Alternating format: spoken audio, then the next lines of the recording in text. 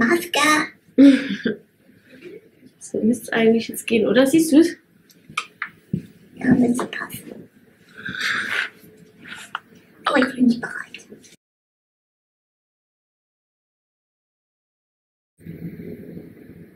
Hallo ihr Lieben, ich habe heute was Besonderes vor.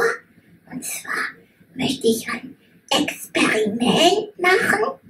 Und ich möchte herausfinden, wohin das Wasser in der Blume geht. Dazu ähm, will ich Wasser bunt machen und eine weiße Blume reinstellen. Für mein Experiment brauche ich vier Tintenpatronen, eine weiße, frische Blume. Ich habe hier eine Rose. Ähm, außerdem brauche ich Leitungswasser und einen Behälter für die Blume und einen Behälter für die Tinte. Außerdem sollte man eine abwaschbare Unterlage haben und man sollte auch Handschuhe und einen Arbeitskittel oder Kleidung, die dreckig werden darf, anziehen, weil man sich sonst einwurzt. Wer mag, kann auch eine Schutzbrille anziehen, einfach weil es cool aussieht. Mein Experiment dauert ein paar Tage, also man sollte das zwischendrin irgendwo hinstellen können, wo es nicht umfällt. Bevor ich anfange mit meinem Experiment, möchte ich, dass ihr euch mal Gedanken macht, was ihr glaubt, wohin das Wasser in der Blume geht und was dann mit der Blume passiert. Ich bin schon sehr gespannt.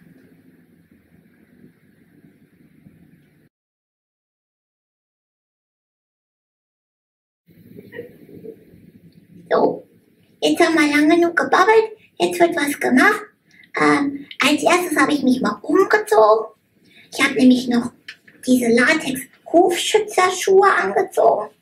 Und ich habe außerdem eine Schutzbrille aufgesetzt, weil es cool ist. Ja.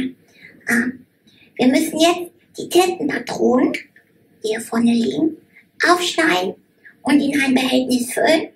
Ähm, weil ich das mit den Hufen nicht kann. Ich kann also keine Schere benutzen und außerdem möchte ich auch auf gar keinen Fall schmutzig werden. Also habe ich jemand anderen verpflichtet, nämlich meine liebe Assistenz. Die hat das auch schon vorbereitet. Die hat schon, genau, die kommt jetzt weg. Jetzt tun wir so, als würde sie die im Hintergrund aufschneiden, aber eigentlich haben wir es schon gemacht. So, hier haben wir also den Inhalt von vier Tintenpatronen in einem Reagenzgläschen. Das muss jetzt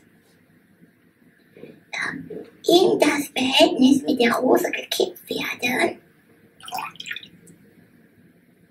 Und das Wasser wird blau.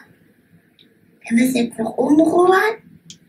Am besten nehmt ihr dafür kein Brausestäbchen, aber ich hatte jetzt gerade sonst nichts. Sondern am besten etwas zum Umrühren, ein Holzstäbchen oder einen Löffel, den man nicht mehr braucht. So, jetzt lassen wir das Ganze über Nacht stehen. Und ihr könnt euch jetzt schon mal überlegen, was ihr denkt, was passiert, wenn ihr es nicht schon gemacht habt.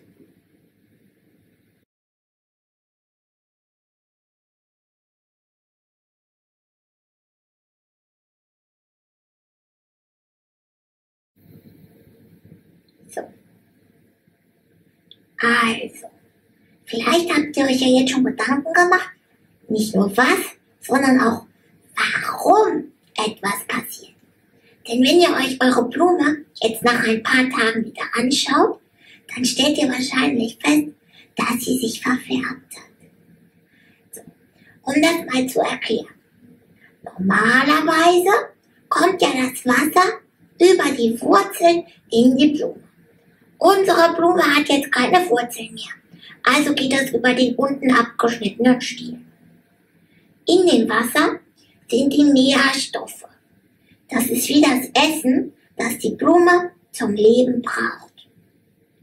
Die Blume zieht das Wasser durch den Stiel in alle Blätter und Blütenblätter. Über die gibt sie das Wasser dann aber auch wieder ab. Denn da sind klitzekleine Mühe-Mitzi-Mitzi-Löcherchen drin. Und darüber kommt das Wasser an den Blättern, in den Blättern an die Oberfläche.